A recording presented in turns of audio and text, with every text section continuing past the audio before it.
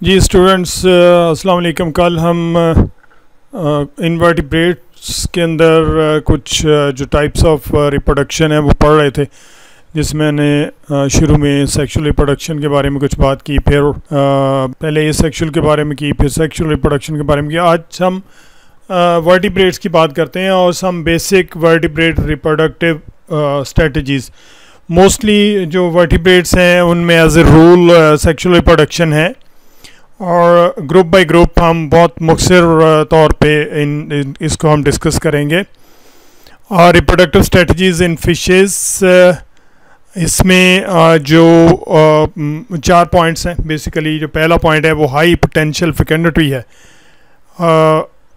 Fishes आमतौर पे चूँकि पानी के अंदर रहती हैं तो वहाँ पर जो इन्वायरमेंट है बहुत हार्श होता है।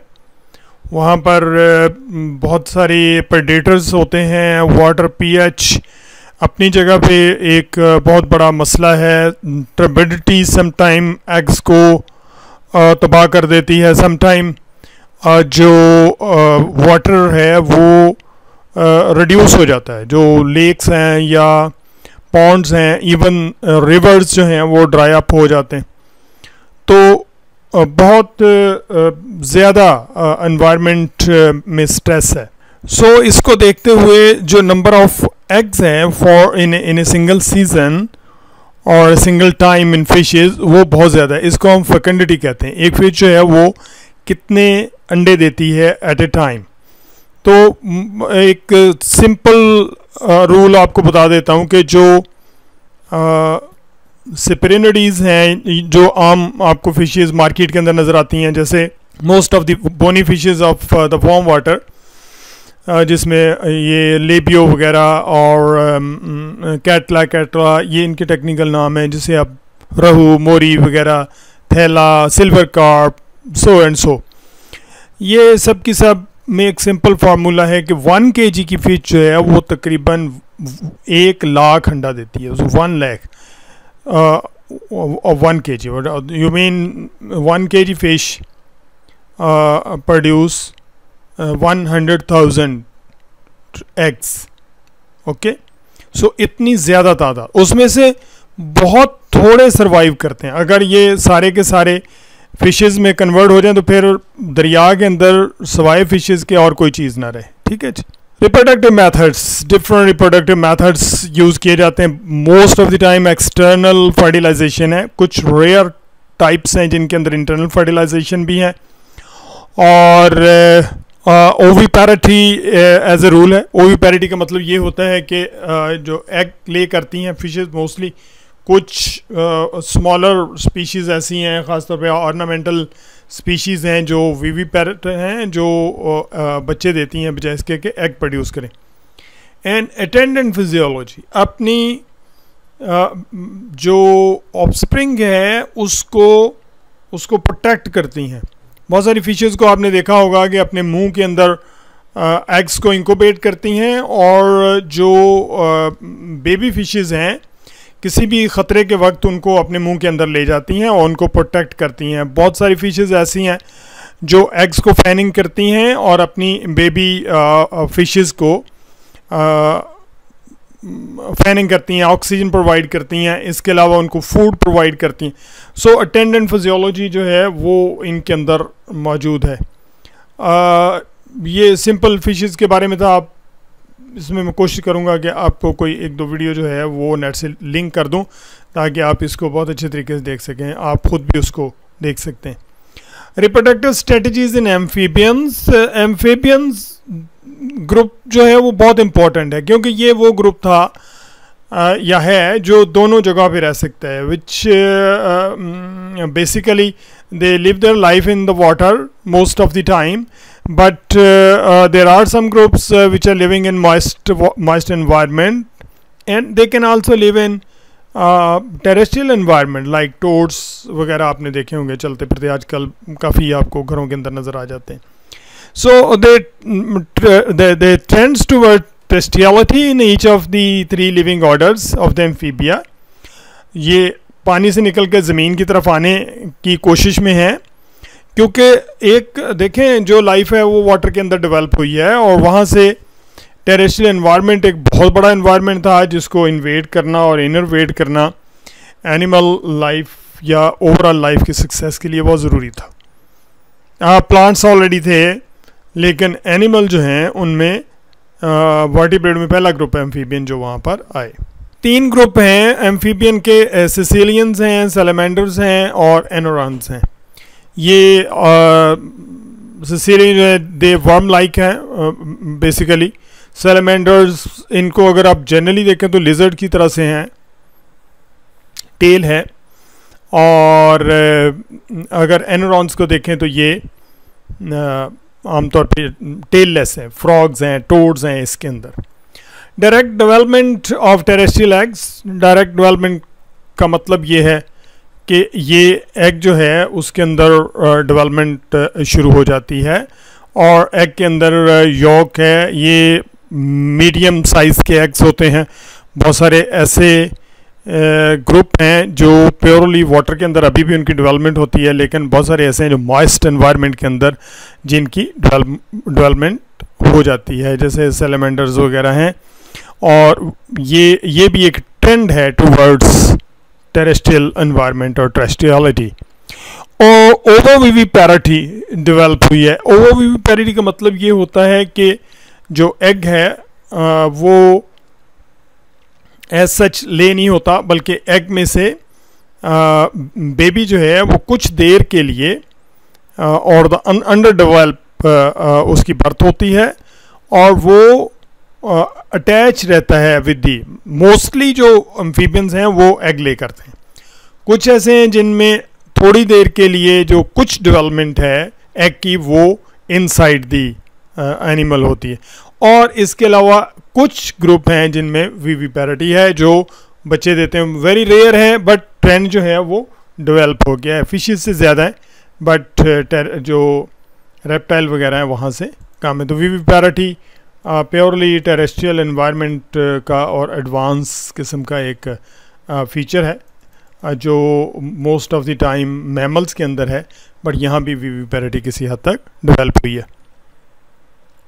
Reproductive strategies in reptiles shell desiccation resistant egg आ गए हैं रेप्टाइल्स के अंदर लार्जर एग हैं शेल रेजिस्टेंट हो गया प्योरली ड्राई एनवायरनमेंट के अंदर उनकी डेवलपमेंट हो सकती है। एम्फीबियन में याद रखें कि अगर डेवलपमेंट डायरेक्ट होती भी थी तो वो मॉइस्ट एनवायरनमेंट चाहिए था उसके लिए। This eggs had the three basic embryonic membranes that still characterise the mammalian embryo as well as a flat embryo that develop and underwent gastrulation top huge yolk mass अब ये जो दोनों चीज़ें हैं, इसमें आप ये देखिए कि एक तो एक्स्ट्रा एम्ब्रियोनिक मेम्ब्रेन्स बनी है। जैकेट्स बन गई हैं। बेसिकली जो न्यूक्लियस है या डेवलपिंग एम्ब्रियोज के इर्द गिर्द, जिसको एमनियन कहते हैं, जिसको कोरियन है और एलेंटॉयज है और योक्सा की चार एक्स्ट्रा एम्ब्रियोनिक मेम्ब्रेन हैं। और इनको इसमें एक और जो टर्म उन्होंने इस्तेमाल की है कि ये फ्लैट एम्ब्रियो फ्लैट एम्ब्रियो का मतलब ये है कि नॉर्मली जो जब एम्फीबियन की बात हो रही थी तो वहाँ पर जो डेवलपमेंट थी, वो पूरे एग के अंदर डिवीज़न हो रही होती थी। यहाँ पर सूरत हाल बिल्कुल और है और इसमें जो एक साइड है, वहाँ पर कंप्लीट डिवीज़न नहीं होती, बल्कि एक साइड के ऊपर न्यूक्लियस होता है और वहीं पर ही डिवीज़न शुरू होती है और एक एम्ब्रियोनिक प्लेट बनना शुरू हो जाती है। जिस, जिसमें फिर मॉडिफिकेशन होती हैं, पूरे का पूरा एनिमल बन जाता है। इसकी जब आप डेवलपमेंट डिटेल में पढ़ेंगे तो फिर आप इसको ज़्यादा बेहतर तरीके से आ, समझ सकेंगे। सो so, इन इसको हम एमनियोटिक एग्स कहते हैं। और इसी हिसाब और ये रेप्टाइल से शुरू हुई हैं ये एक्स्ट्रा एम्ब्रियोनिक मेम्ब्रेन और ये फिर बर्ड्स के अंदर भी हैं और मेमल्स के अंदर भी हैं।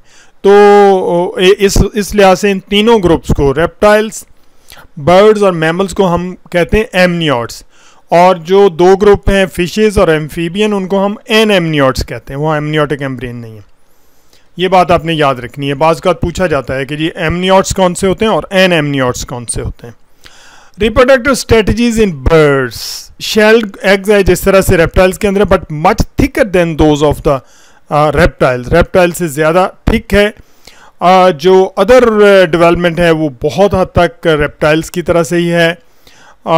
एक का साइज़ जो है वो भी रेप्टाइल्स की तरह से ही है बल्कि यहाँ तक है कि आपने देखा होगा कि ये कराची वगैरह में या साहल के करीब या कई जगह पे जो बर्ड एग हैं उनमें टर्टल एंड टर्टल्स के एग मिला के तो सेल कर दिए जाते हैं। जैसे हमारे यहाँ रवाज है बाकी चीज़ों के अंदर मिक्सिंग करने का मिलावट करने का तो इसके अंदर रेप, रेप्टेलियन एग जो है वो मिक्स किए जाते हैं। तो reproductive strategies of birds are almost like that of reptiles इसके अलावा और बेशुमार चीज़ें हैं नेस्ट फॉर्मेशन है जो ट्रीज़ के ऊपर बनाई जाती है। मोस्टली जो रेप्टाइल्स ज़मीन के अंदर नेस्टिंग करते हैं। इसके अलावा जो जो बेबी केयर है वो बर्ड्स के अंदर बहुत ज़्यादा है। इसके अलावा बहुत सारी डेविएशंस हैं यहाँ से।